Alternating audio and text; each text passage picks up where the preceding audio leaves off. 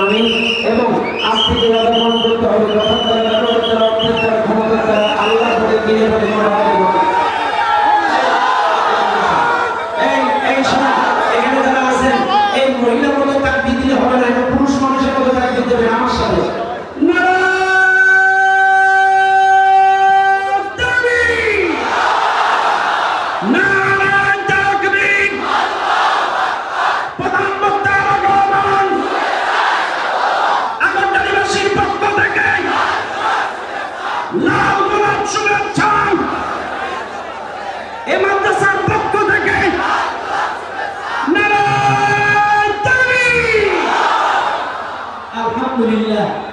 সম্মানিত উপস্থিতি, রাত একটা হয়ে গিয়েছে।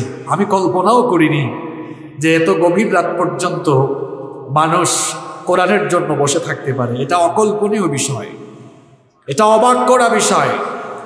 কোরআনের মাহফিল ছাড়া অন্যান্য কোনো সমাবেশে এত গভীর রাত পর্যন্ত মানুষকে রাখা সম্ভব হবে এদেশের মানুষ কোরআনকে কত ভালোবাসে, ইসলামকে কত ভালোবাসে রাত একটার পরে সাতক্ষীরার এই আগরদারি আমিনিয়া কামিল মাদ্রাসার মাঠে এই হাজার হাজার নারী পুরুষের উপস্থিতি প্রমাণ করে এদেশের মানুষ কোরআনকে, ইসলামকে তাদের নিজের জীবনের চাইতেও বেশি ভালোবাসে। যে দেশের মানুষ গভীর রাত পর্যন্ত কোরআনের জন্য নীরবে বসে থাকতে পারে, এই দেশে নাস্তিক, মুরতাদ, বাম, রাম আর ইসলাম বিরোধীদের স্বপ্ন কোনোদিনও বাস্তবায়ন হবে না। এই চিত্র গভীর রাতের এই চিত্র বলে দিচ্ছে, আগামীর বাংলাদেশ, কোরআনের বাংলাদেশ। আগামীর বাংলাদেশ, ইসলামের বাংলাদেশ। আগামীর বাংলাদেশ আলেমুল আমার বাংলাদেশ, ইনশাআল্লাহ।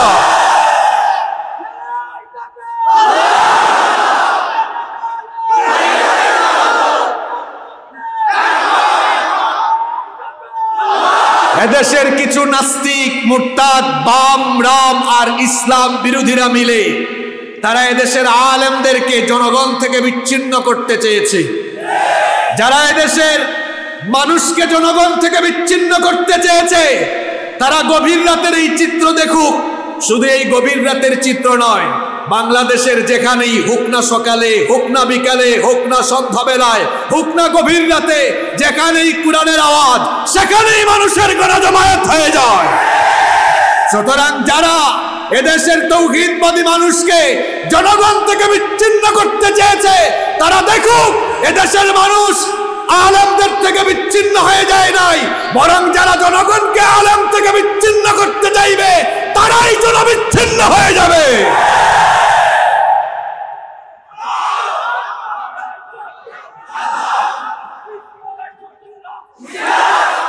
সম্মানিত ভাইয়েরা, আপনাদের কি ঘুম চলে এসেছে? চলবে না বন্ধ হবে? আমি তো অবাক, আমি তো অবাক। পাবলিকের কিছু ঘুম এসেছে, এজন্য ঘুম দূর করে দেওয়ার জন্য এরকমের কিছু মেডিসিনেরও দরকার আছে। মেডিসিনের পাশাপাশি আমি যে কথাগুলো বলছি সেগুলো অত্যন্ত প্রয়োজনীয় কথা। এর কারণ হলো, যে দেশের মানুষ কোরআনকে, ইসলামকে, এই টাকাও তো মনে হয় বাক্সে বলে যাচ্ছে। যে দেশের মানুষরা মাদ্রাসার জন্য, প্রতিষ্ঠানের জন্য, আলেমদের জন্য, কোরআনের জন্য বসে থাকতে পারে, এদেশের ইসলাম বিরোধীরা এই চিত্র দেখে শিক্ষা নেওয়া দরকার। এদেশের আলেমদের হাতে হাত করা আর পায়ে ডান্ডা লাগিয়ে এদেশ থেকে ইসলামকে মুছে দেওয়া যাবে না। সম্মানিত ভাইরা সংগ্রামী সাতক্ষীরাবাসী সংগ্রামী সাতক্ষীরাবাসী,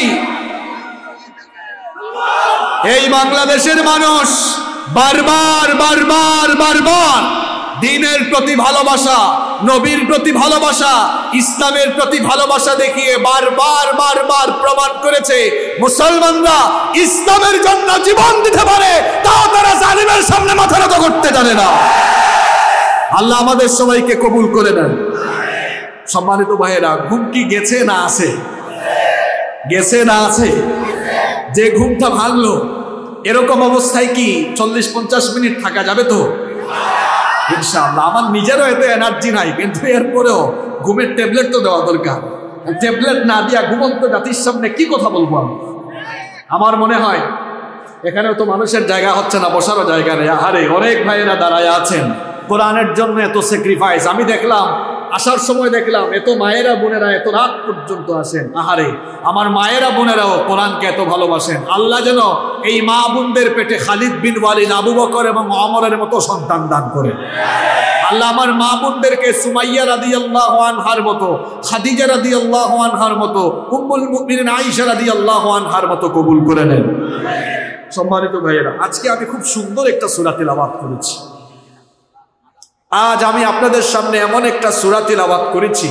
এই সূরার নাম আপনারা সবাই জানেন। বলেন তো সূরাটার নাম কি? সূরাতু আল আলাক সুরার নাম হচ্ছে সূরা আলাক আপনারা তো সবাই জানেন, নবীজির কাছে ওহি নাজিল হয়েছে সুদীর্ঘ তেইশ বছরে। কিন্তু ওহি নাজিলের সূচনা হয়েছে এই সূরার প্রথম পাঁচটি আয়াত দিয়ে। সুবহানাল্লাহ পড়ে।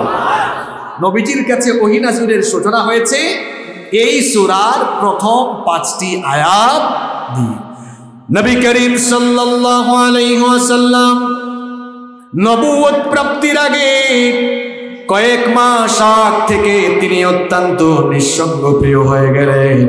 নিঃসঙ্গ প্রিয় হয়ে আল্লাহর সান্নিধ্য লাভের জন্য হেরা গুহায় তিনি ধ্যানমগ্ন অবস্থায় চলে গেলেন।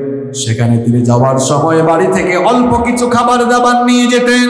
খাবার দাবার ফুরিয়ে গেলে আবার তিনি বাড়িতে ফিরে আসতেন। এই রকম করে কয়েক মাস আল্লাহর নবী মক্কার দূরে হেরা গুহায় গিয়ে আল্লাহর সান্নিধ্য লাভের জন্য ধ্যানে মগ্ন অবস্থায় থাকলেন। এই রকম কয়েক মাস চলতে চলতে রমাদানের মাস এসে গেল।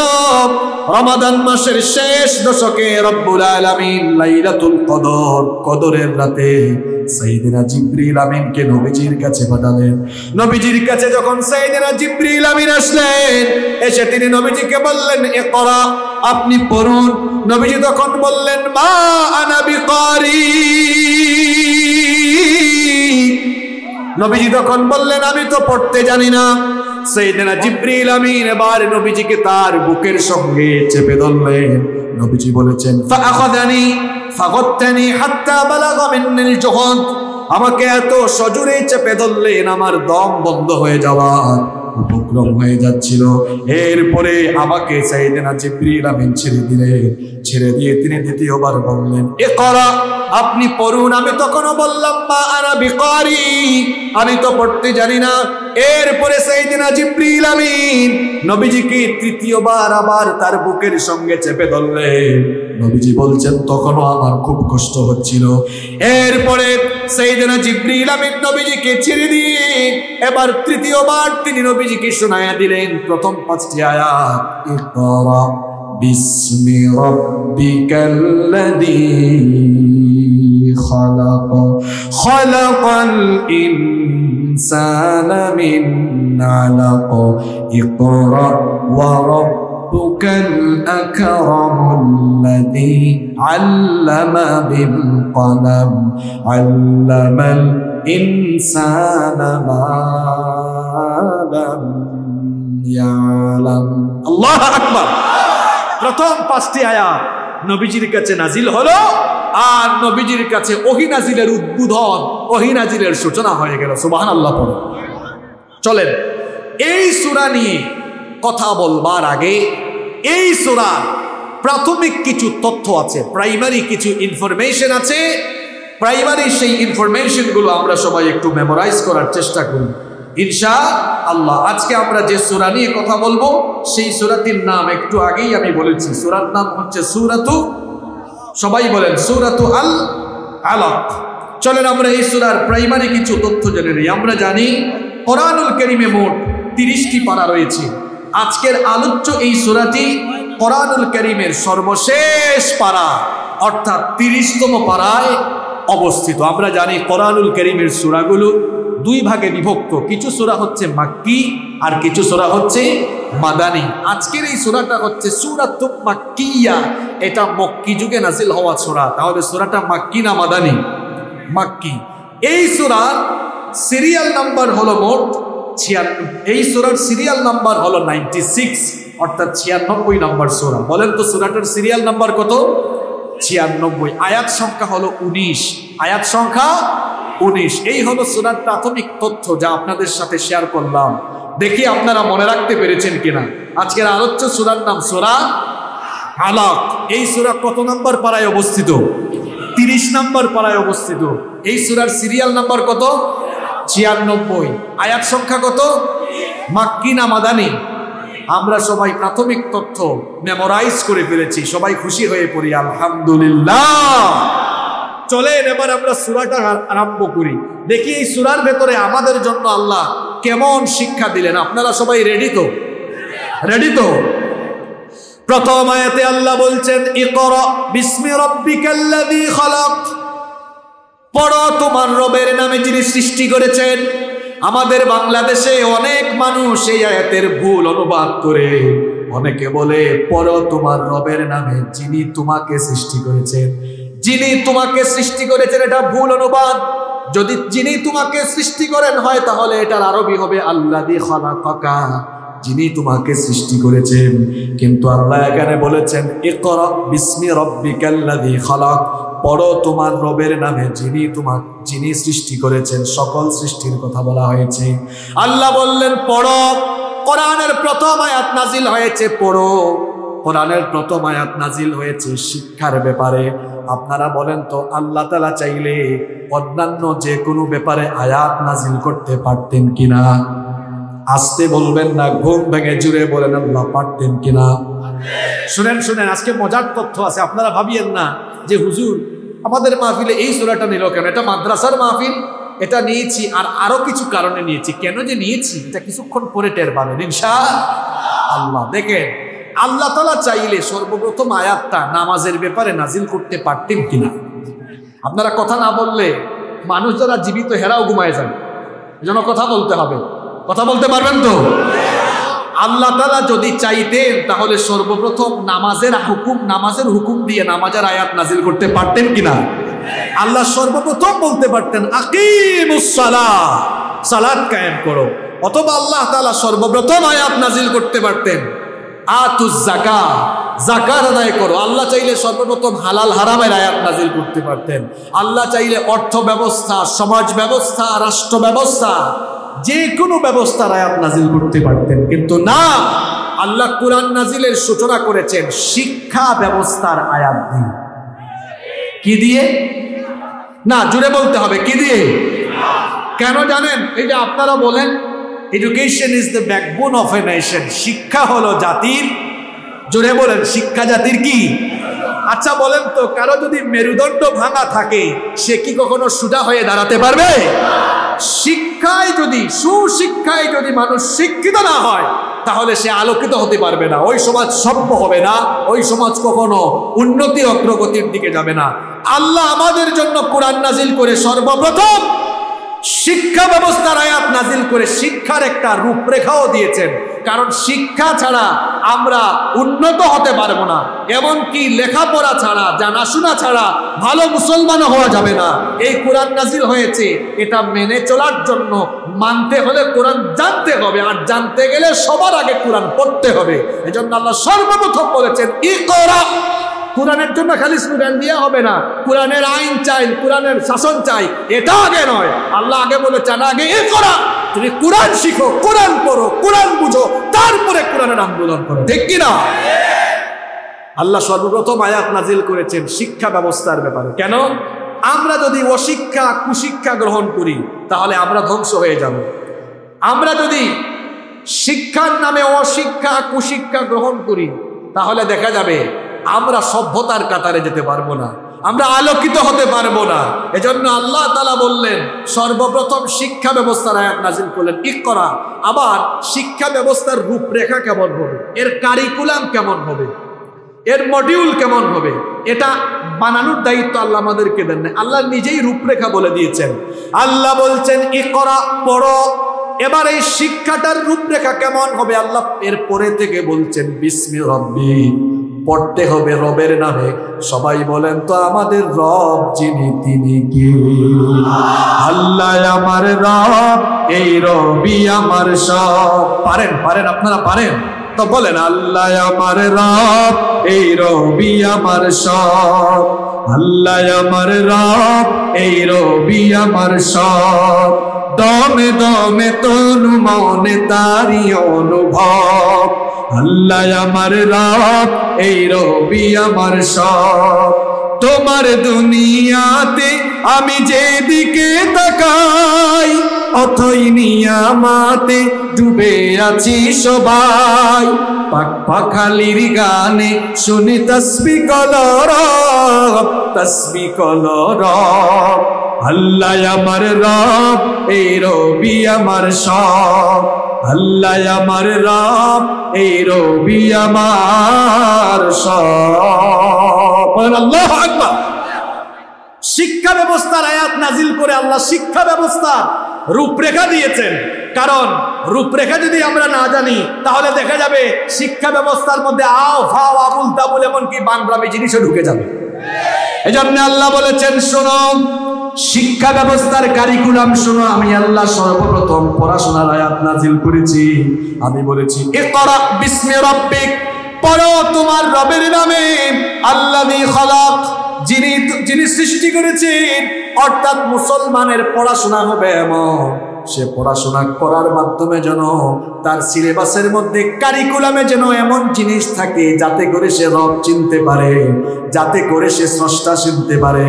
যদি পড়াশোনার মধ্যে রবকে চেনার, রবকে জানার সুযোগ না থাকে, তাহলে দেখা যাবে এই কারিকুলাম তাকে একটা গণ্ড মূর্খ শিক্ষিত বানাবে। শিক্ষিত হবে কিন্তু মূর্খের মতো কথা বলবে। যদি শিক্ষা ব্যবস্থার রূপরেখার ভেতরে রবকে চেনার, রবকে জানার, দিনকে বোঝার কোনো সুযোগ না থাকে, দেখা যাবে বড় বড় বিশ্ববিদ্যালয় থেকে ডিগ্রি নেওয়ার পরেও রবকে চেনা যায়, দিন বোঝা যায়, জানা যায়, এমন কারিকুলাম যদি না থাকে, দেখা যাবে শিক্ষিত লোক শিক্ষিত হয়েও মূর্খের মতো কথা বলবে। এবং বলতেছেও সব পড়ে ফেলেছে। হে শিক্ষিতের ঘরের শিক্ষিত, এমন শিক্ষিত, পড়াশোনায় দিন জানার, দিন বুঝার কোনো সাবজেক্ট নাই। তার সিলেবাস দিনের শিক্ষা বহির্ভূত সিলেবাস পড়াশোনা করে ডক্টরেট ডিগ্রি নিয়ে। এরপরে কি বলে জানেন? কয় দেয়ার ইজ নট বলতে কেউ, কি বলে, এরকম আছে না নাই? হে কি জাতের পণ্ডিত হইছে? কয় সৃষ্টি আছে, ঠিক আছে, কিন্তু এগুলো এমনি এমনি হয়েছে এগুলো কোনো স্রষ্টা নাই। বেটা নাস্তিকের ঘরের নাস্তিক সংশয়বাদী, তোর গায়ে যে জামা আছে, কাপড় আছে, এটা কি এমনি এমনি হয়েছে রে, গাধার গাধা? এই যে গায়ে কাপড় আছে, এইটাও তো কেউ না কেউ কোনো কারিগর বানিয়েছে, ঠিক কি না এখানে যদি গোবর থাকে, গোবর। গোবর দেখলে মানুষ বুঝে ফেলবে, এই মাঠ দিয়ে কোনো গরু হেঁটে গিয়েছে। পায়খানার বড়ি দেখলে মানুষ বুঝবে, এখান দিয়ে কোনো ছাগল হেঁটে গিয়েছে। তো গোবর আর ছাগলের পায়খানা দেখলে যদি বোঝা যায় এদিকে গরু ছাগল গিয়েছে তবে এটা কানার কানা, নাস্তিকের নাস্তিক, তোর চোখের সামনে গাছপালা, তরুলতা, নদ, নদী, সাগর, মহাসাগর, মাথার উপরে রাজপালার পায়ের তলার জমিন দেখে তোর কি বিবেকে এটা আসে না? এটাও কেউ না কেউ বানিয়েছে, ঠিক কিনা এগুলো এমনি এমনি হয়েছে, গাধার গাধা। এমনি এমনি কি কোনো জিনিস হয়? আপনারা বলেন তো, সম্মানিত ভাইয়েরা, আপনারা বলেন তো। ড্রাইভার ছাড়া কি গাড়ি চলে? পাইলট ছাড়া কি বিমান চলে? এই মাইকের একজন অপারেটর হয়তো কোন দিকে আছে? অপারেটর ছাড়া কি মাইক চলে? এখানে এতগুলো ক্যামেরা লাগানো। ক্যামেরাওয়ালা মেন ক্যামেরা পার্সন ছাড়া কি ক্যামেরা চলে? ড্রাইভার ছাড়া যদি গাড়ি না চলে, পাইলট ছাড়া যদি বিমান না চলে অপারেটর ছাড়া যদি মাইক না চলে, ক্যামেরা পার্সন ছাড়া যদি ক্যামেরা না চলে, তো সস্তা ছাড়া সৃষ্টি কেমনে চলে? অবশ্যই এই সৃষ্টির পেছনে একজন কারিগর আছেন এবং সৃষ্টিকে একজন শুনুন অত্যন্ত সুন্দরভাবে পরিচালনা করছেন। গলার আওয়াজ বড় করে বলুন তিনি কি? এজন্য রব্বুল আলামিন কোরআনুল কারীমে বলেছেন, আল্লাহু খালিকু কুল্লি শাইইন ওয়া হুয়া আলা কুল্লি শাইইন ওয়াকিল। বলছেন সব জিনিসকে সৃষ্টি করেছি আমি। আর সব কিছুর নিয়ন্ত্রণ এবং পরিচালনার দায়িত্ব নিজের হাতে যিনি গ্রহণ করেছেন, গলার আওয়াজ বড় করে বলেন, তিনি কি? আল্লাহ বলছেন, ইকরা বিস্মি রাব্বিকাল্লাযী খালাক। পড়ো তোমার রবের নামে। রবকে চেনো, রবকে জানো আল্লাহ রে খালা, যিনি তোমার যিনি সৃষ্টি করেছেন। আল্লাহ বলছেন, পড়াশোনাটা হওয়া দরকার রবের নামে। পড়াশোনার কারিকুলামের ভেতরে যদি রবকে চেনার, রবকে জানার, দিনকে বুঝার কোনো সুযোগ না থাকে, এমন শিক্ষা গ্রহণ করার পরে দেখা যাবে মূর্খ, শিক্ষিত হবে। এমন শিক্ষা গ্রহণের পরে দেখা যাবে সংশয়বাদী হয়ে যাবে, নাস্তিক হয়ে যাবে। এই জন্য শিক্ষা ব্যবস্থার মধ্যে রবকে চেনা, রবকে জানার, নিজেকে চেনার, নিজেকে জানার, এমনকি নিজের গন্তব্য জানার জন্য দিনই শিক্ষা থাকার দরকার আছে না নাই? আহারে, এই প্রথম আয়াতের আমল করছি কিনা? এত যে দলাদলি করেন, এত যে পার্টি করেন, এত কিছু না করেন, কোরআনের প্রথম আয়াত, আল্লাহ বললেন, পড়ো, রবের নামে পড়ো। আজ আমাদের শিক্ষা ব্যবস্থার দিকে তাকালে বড় দুঃখ লাগে। একানব্বই শতাংশ মানুষ এই দেশে মুসলমান।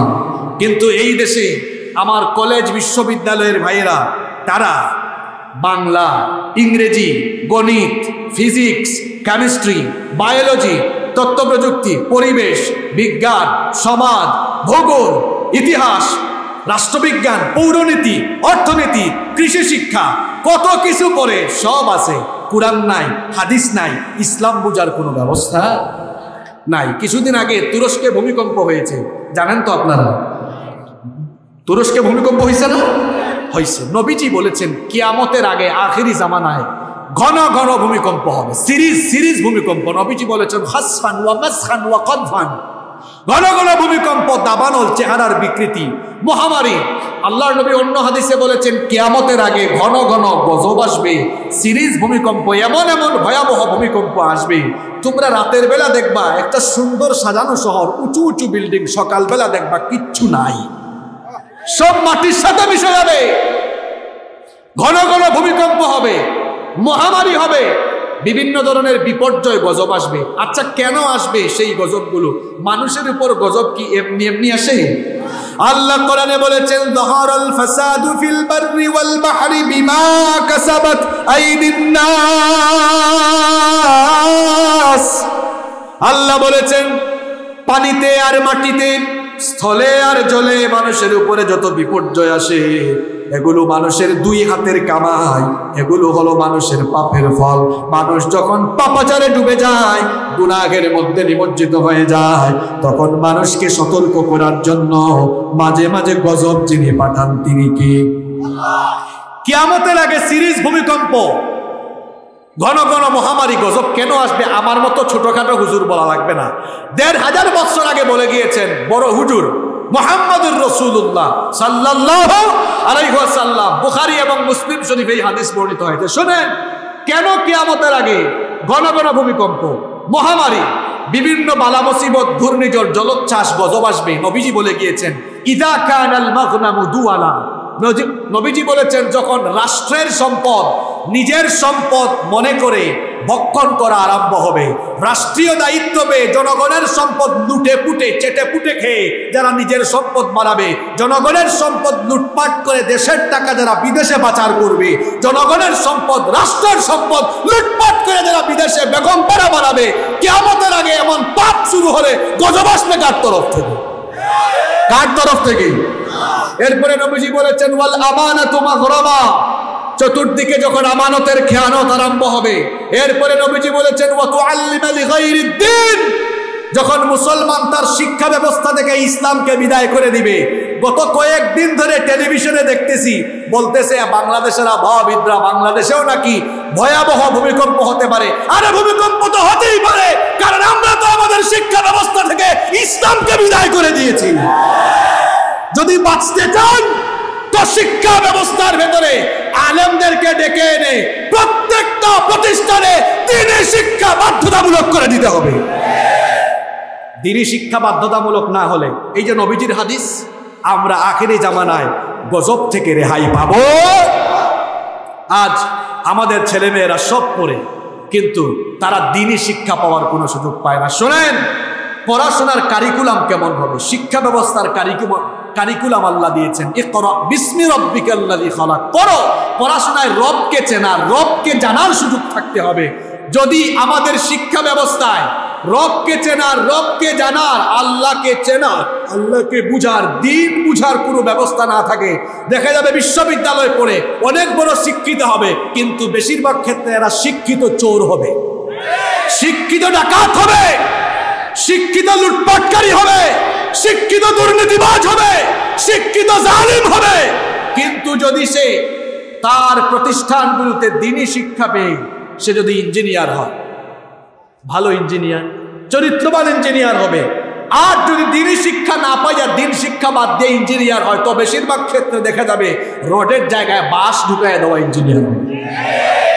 যদি ছোটবেলায় দিন শিক্ষা না পেয়ে তার কারিকুলামে সব কিছু শিখে, সে যদি অ্যাডভোকেট হয় ব্যারিস্টার হয়, সে যদি ম্যাজিস্ট্রেট হয় জজ হয়, দেখা যাবে অপরাধীকে নিরপরাধী, নিরপরাধীকে ফাঁসির কাস্টে ঝুলে ছাড়বে তাহলে বোঝা গেল, শুধু শিক্ষিত হলে হবে না, সুশিক্ষায় শিক্ষিত হওয়া লাগবে। আর সুশিক্ষায় শিক্ষিত হতে হলে অবশ্যই সিলেবাসে কোরআন, হাদিস, দিনে শিক্ষা থাকা লাগবে। আল্লাহ তাআলা কোরআন নাজিরের সূচনা করেছেন, সেই কথা বলেন। আল্লাহ বলছেন, ইকরা বিসমি রাব্বিকাল্লাযী খালাক। পড়ো তোমার রবের নামে যিনি সৃষ্টি করেছেন। অর্থাৎ তোমার কারিকুলামের ভেতরে রবকে চেনার, রবকে জানার যদি সুযোগ থাকে, তাহলে এমনিতেই স্রষ্টাকে মানুষ চিনতে পারবে, স্রষ্টাকে ভয় করে। দেখা যাবে সে দিন মুখে আখেরাত মুখে জীবন পরিচালনা করছে। কিন্তু তার কারিকুলামে যদি রবকে চেনার, রবকে জানার, দিনকে বোঝার সুযোগ না থাকে, দেখা যাবে আল্লাহর ভয় কলিজায় থাকবে না। পড়াশোনা শেষ করে তার কেরিয়ারে যে জায়গায় সে বসবে। দেখা যাবে দুই নাম্বারে করবে মানুষের উপরে জুলুম করে বসবে। কিন্তু তার ভেতরে যদি পরকালের ভয়, আখিরাতের ভয়, আল্লাহর কাছে দাঁড়ানোর ভয়, জবাবদিহি তার ভয় থাকে, তাহলে দেখা তাহলে দেখা যাবে আল্লাহর ভয়ে সকল অন্যায় আর অপকর্ম থেকে দূরে থাকতে পারবে। ঠিক কিনা? প্রথম আয়াতে আল্লাহ তাআলা বললেন, ইকরা বিসমি রাব্বিকাল্লাযী খালাক। পড়ো, তোমার রবের নামে যিনি সৃষ্টি করেছেন। এরপরে আল্লাহ তাআলা তার পরিচয় আবার দিলেন, কোন সেই স্রষ্টা শোনো, খালাকাল ইনসানা মিন আলাক। যিনি ইনসান বানিয়েছেন, যিনি মানুষ বানিয়েছেন জমাট বাঁধা রক্ত থেকে।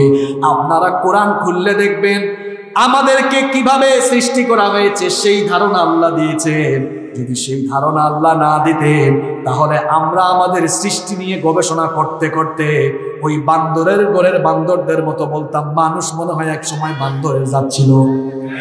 আমরা যেন নিজেদের সৃষ্টি সম্পর্কে গাফিল হয়ে না যাই, এজন্য আমাদের সৃষ্টির প্রক্রিয়াগুলো কোরআনুল কারিমের ভেতরে খুলে খুলে যিনি বর্ণনা করেছেন, তিনি কে? আরও জুড়ে বলেন, তিনি কে? আল্লাহ তালা এখানে বলছেন, খালাকাল ইনসান মিন আলাক। মানুষকে আমি জমাট বাঁধা রক্ত থেকে বানিয়েছি। এই দুনিয়াতে রব্বুল আলামিন মানুষ বানিয়েছেন মোট চারটা ক্যাটাগরিতে। আমার কথা যদি আপনারা বুঝে থাকেন, পুরুষ উচিত কণ্ঠে সবাই একটু গলার আওয়াজ বড় করে বলেন মানুষকে আল্লাহ মোট কয়টা ক্যাটাগরিতে বানিয়েছেন? আরও জুড়ে বলেন। খেয়াল করেন এবং মুখস্থ করে ফেলেন। এক নাম্বার হলো মা নাই, বাপ নাই। নারী আর পুরুষ ছাড়া, মা আর বাপ ছাড়া দুনিয়ার প্রথম মানুষ আল্লাহ বানালেন বলেন তো, ওই প্রথম মানুষের নাম কি? আদম সালাম। বলেন তো, সাইয়েদনা আদম সালামের কি কোনো বাবা মা আছে নাকি?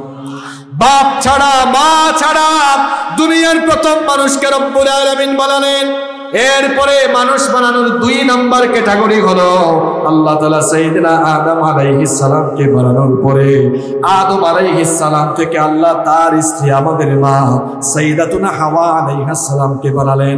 এটা হলো আল্লাহর মানুষ বানানোর দুই নাম্বার ক্যাটাগরি।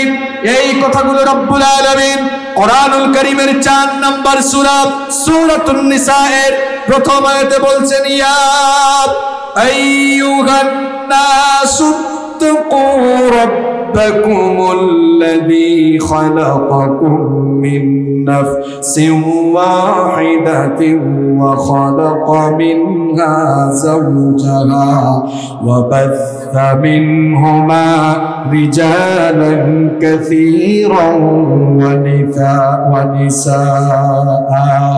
واتقوا الله الذي تساءلون به والأرحام إن الله كان عليكم رقيبا কথাগুলো কার আল্লাহ বলছেন ইয়া আইয়ুহান নাস হে মানব জাতি ইত্তাকু রাব্বাকুম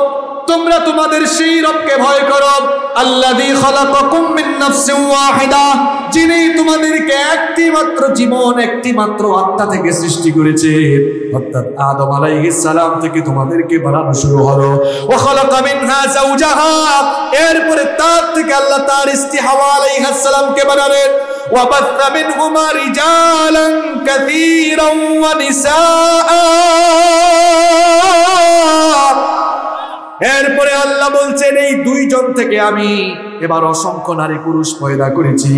এই যে দুনিয়াতে এখন অসংখ্য মানুষের বসবাস, এই জগৎ সংসার শুরু হয়েছিল একদিন মাত্র দুইজন দিয়ে, জুড়ে বলেন কয়জন?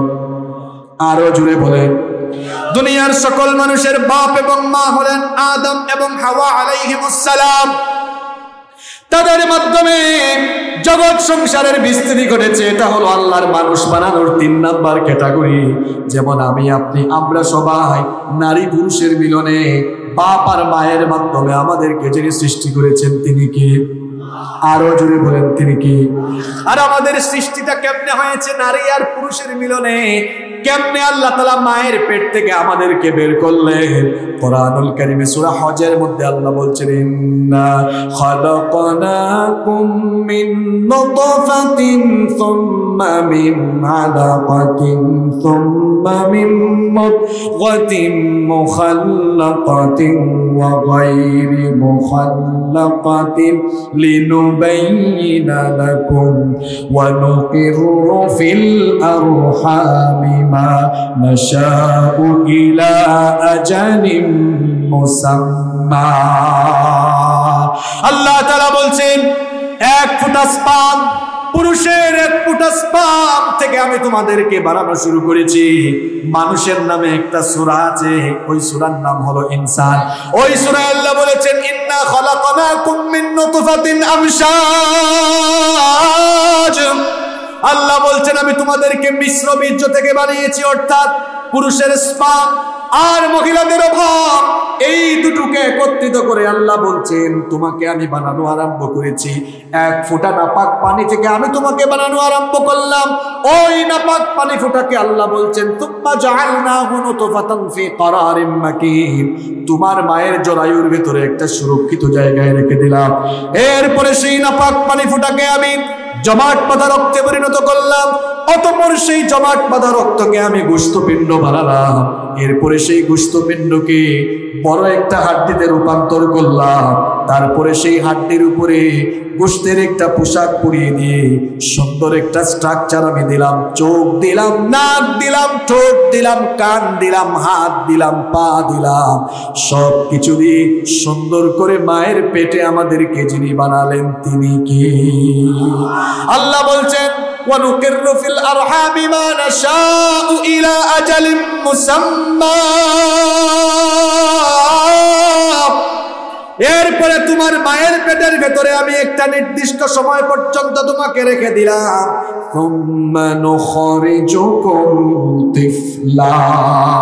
এরপরে বাচ্চার আকারে মায়ের পেট থেকে বের করে এই দুনিয়ার আলো বাতাস আমাদেরকে যিনি দেখালেন তিনি কি? এটা হলো আল্লাহর মানুষ বানানোর তিন নম্বর ক্যাটাগরি। আমি এবং আপনি মা বাপের মাধ্যমে আল্লাহ আমাদেরকে বানিয়েছেন আমি বলেছিলাম, আল্লাহ দুনিয়াতে মানুষ বানাইছেন মোট কয়টা ক্যাটাগরিতে? এক নাম্বার, বাপ মা ছাড়া আল্লাহ আদম আলাইহিসালামকে বানিয়েছেন। দুই নম্বরে, আল্লাহ আদম আলাইহিসালাম থেকে তার স্ত্রী আমাদের মা হাওয়া আলাইহাসালামকে বানিয়েছেন। তিন নম্বর হলো, নারী আর পুরুষের মিলনে বাপ আর মায়ের মাধ্যমে আমাদেরকে বানাইছেন কি? চার নম্বর হলো, বাপ নাই মায়ের পেটে বাপ ছাড়া আল্লাহ সন্তান দিয়েছেন, পুরুষ ছাড়া। একজন মহিলার পেটে আল্লাহ সন্তান দিয়েছেন। বলেন তো দেখি সেই মহিলার নাম কি?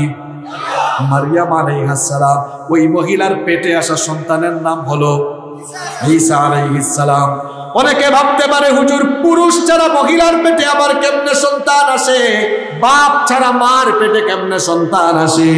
সেইদাতুনা মারিয়াম আলাইহিস সালাম যখন তার কোলে শিশু ঈসা আলাইহিস সালামকে নিয়ে কওমের সামনে আসলেন, খ্রিস্টানরা বলেছিল, মারিয়াম, তুমি তো একজন অবিবাহিতা নারী। তুমি তো বিবাহ, তোমার তো বিবাহ হয় নাই। বিয়ে শাদী ছাড়া, পুরুষের সংস্পর্শ ছাড়া তোমার পেটে সন্তান আসলো কেমনে? নিশ্চয়ই তুমি দুই নাম্বার অর্থাৎ জিনার কোনো কাজ করে ফেলেছো, নাউজুবিল্লাহ। তারা যখন সাইদাতুনা মারিয়াম অপবাদ দিতে লাগল, আল্লাহ তাআলা তখন অপবাদের জবাব দিলেন। আল্লাহ বললেন, ইন্না মাতালা ঈসা ইনদাল্লাহি আদম মিন তুরাব। আল্লাহ বললেন, নিশ্চয়ই আমার কাছে ঈসার দৃষ্টান্ত হলো আদমের মতো। অর্থাৎ আল্লাহ বুঝাতে চাইলেন, আমি তো আদম যখন বানিয়েছি, তখন আদমের কোনো বাপও ছিল না, মাও ছিল না। বাপ ছাড়া, মা ছাড়া আমি যদি আদম বানাইতে পারি, তো সেই আল্লাহ কি বাপ ছাড়া মায়ের পেটে সন্তান দিতে পারেন কিনা? আরও জোরে বলেন, পারেন কিনা? আল্লাহ বলছেন, এভাবে আমি মানুষ বানিয়েছি। তাহলে এই যে মানুষ সৃষ্টির ইতিহাস আমি কোরআন থেকে বললাম বলেন তো, মানুষ কি মাইনসের জাত না বান্দরের জাত? দুহাজার তেইশ সালে আমরা দেখেছি, মানুষের পূর্বপুরুষ বান্দর ছিল। এই মতবাদে বিশ্বাসী কিছু বান্দরের ঘরের বান্দরদেরকে আমরা বাংলাদেশে দেখেছি।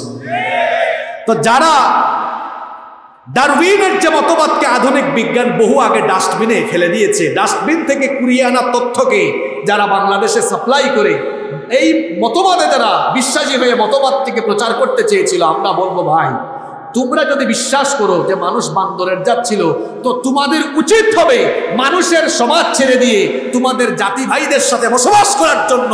হয় জঙ্গলে চলে যাওয়া, নইলে চিড়িয়াখানায় গিয়ে বান্দরের সাথে বসবাস করো। যদি চিড়িয়াখানায় অতিরিক্ত খাঁচার দরকার হয়, খাঁচা বানানোর পয়সা আপনারা দিবেন নাকি? হ্যাঁ?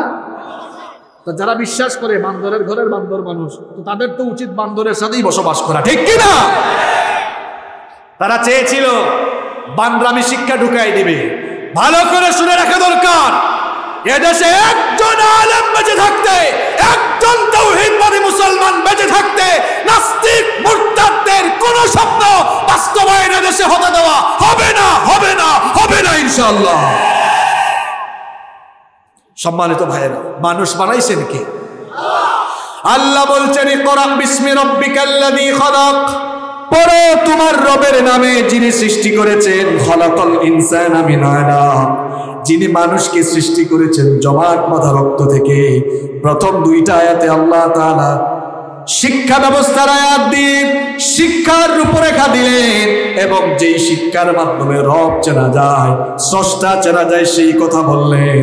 এরপরে তিন নম্বর আয়াত থেকে আল্লাহ বললেন তরা ওয়ারব বুকাল আকরমুল্লাযী আল্লামা বিল কলম। পরম প্রথম আয়াতে ইকরা, তিন নম্বর আয়াতেও ইকরা।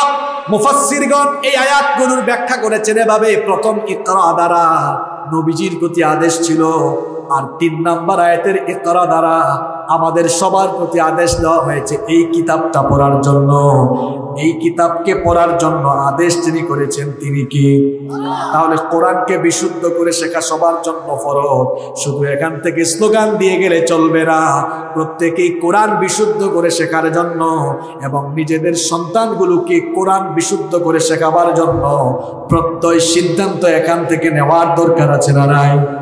আল্লাহ বললেন, ইকরা পড়ো।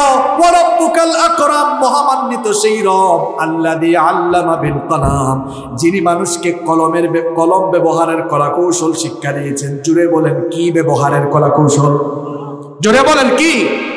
কলম। আপনাদের খারাপ লাগতেছে নাকি? হ্যাঁ? এখন তো মূল কথাগুলো বলব। সবাই রেডি তো? রেডি ঘুম আসছে না, চলে গেছে। আল্লাহ বলছেন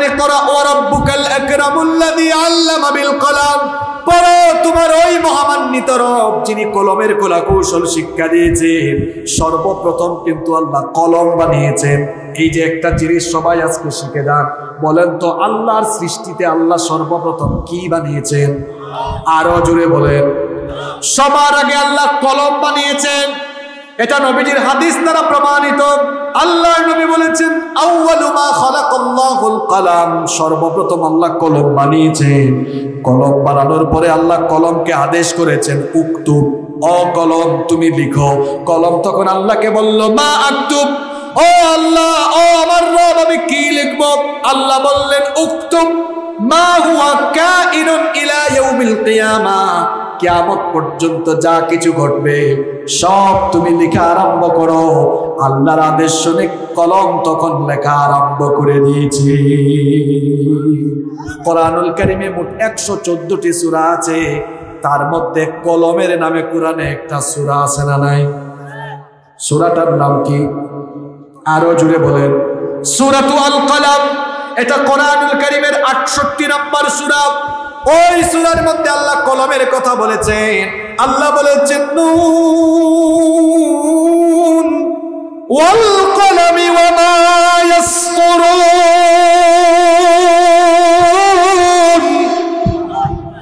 আল্লাহ বলেছেন কলমের কসম, এখানে আল্লাহ কলমের কসম কসম করেছেন। কেন আল্লাহ কলমের কসম করলেন? কলমের গুরুত্ব এত বেশি বুঝালেন কারণ এই কলম ব্যবহারের কৌশল আল্লাহ শিখিয়েছেন আর কলমের ব্যবহার আমাদের সমাজে আছে না নাই? এই কলমের ব্যবহার সব জায়গায় আছে। মাহফিলেও কলম, স্কুল, কলেজ, মাদ্রাসা, বিশ্ববিদ্যালয়, সরকারি অফিস, আদালত, ফ্যাক্টরি, মিল, কারখানা, দোকানপাট, সব জায়গায় কলমের ব্যবহার আছে না নাই? এই কলম কিন্তু আল্লাহ সর্বপ্রথম বানিয়েছেন। আর কলম ব্যবহারের কলা কৌশল আল্লাহ আমাদেরকে শিখিয়েছেন এখন মানুষের পকেটে পকেটে দেখবেন সুন্দর সুন্দর কলম, কিন্তু এই কলমেরও একটা ইতিহাস আছে। আগের যুগের কলম কিন্তু এরকম এত সুন্দর ছিল না। প্রাচীনকালে মানুষ বাঁশের খঞ্চি দিয়া কলম বানাতো।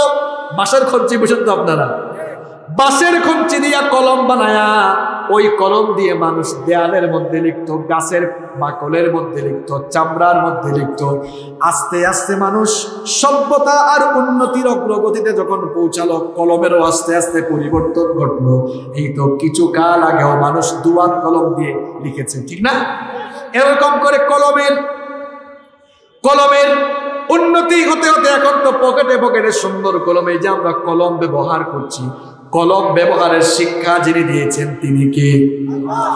এই কলম ব্যবহার করতে গিয়ে আমরা যেন কলমের অপব্যবহার না করি, এই জন্য কোরআনে আল্লাহ কলমের নামে সুরা দিয়েছেন, কলমের কসমও করেছেন। এই কলম দিয়ে দুনিয়ার মধ্যে লুটপাট হয়। দেখেন, তরবারি তরবারি তো আপনারা চিনেন তরবারির চাইতেও কিন্তু কলমের পাওয়ার। জোরে বলেন। আহারে, আজকের ওয়াজটা দশটায় ফেলে ভালো হতো, এত দামি দামি কথা বলে যাচ্ছে, মাথায় ঢুকতেছে তো আপনাদের। আহ তরবারির চাইতে কলমের পাওয়ার বেশি। তরবারি দিয়ে কয়জন মানুষকে আপনি সাইজ করতে পারবেন? কিন্তু এই কলম দিয়ে অনেক কিছু করা যায়। এই কলমের খুচায় কোটি কোটি টাকা লুটপাট আর দুর্নীতি করা যায়। এই কলমের খুচায় নিরপরাধী মানুষের ফাঁসির রায় লেখা যায়। এই কলমের খুচায় নিরপরাধীকে অপরাধী বানানো যায়। এই কলমের খুচায় অপরাধী ব্যক্তিকে নির্দোষ হিসাবে রায় লিখে দেওয়া যায়।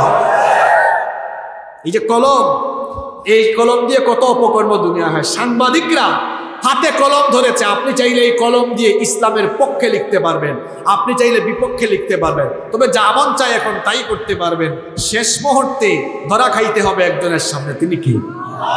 আল্লাহর বিচারের কিন্তু সিস্টেম আলাদা। আল্লাহর বিচার আর আমাদের দুনিয়ার বিচার কি একরকম? কথা কম না কেন, একরকম। আমাদের বিচার আর আল্লাহর বিচার একরকম নয়। যেমন আমাদের বিচার আচারগুলো কেমন হয়? কোন মানুষের বিরুদ্ধে অভিযোগ থাকলে প্রথমে অভিযোগ কিংবা চার্জশিট গঠন হয়। তারপরে দেখা যায় তারপরে দেখা যায় তদন্ত হয়। আদালতে যদি মামলাটা যায়, দেখা যায় প্রথমে মামলার হেয়ারিং হয়, তারপরে সাক্ষ্য গ্রহণ হয়। এরপরে বিচারক সাহেব রায় দেন। রায় দেওয়ার সময় মাঝে মাঝে এমনও দেখা যায়, উপরের মহলের প্রেসারে রায় যাওয়ার কথা ছিল, একদিকে চলে যায় আরেকদিকে। আমাদের বিচারের মধ্যে দুই নাম্বারই আছে। কিন্তু আল্লাহর বিচারে কোনো দুই নাম্বারই নাই। আল্লাহ হচ্ছেন শ্রেষ্ঠ ন্যায় বিচারক। কিয়ামতের দিন যখন আমরা আল্লাহর সামনে দাঁড়াবো, তখন আমাদেরকে হিসাব দেওয়া লাগবে যার কাছে তিনি কি। আল্লাহর হিসাবের সিস্টেম আলাদা। আমরা সারা জীবন যত কাজ করেছি, সব আল্লাহ জানেন কিনা?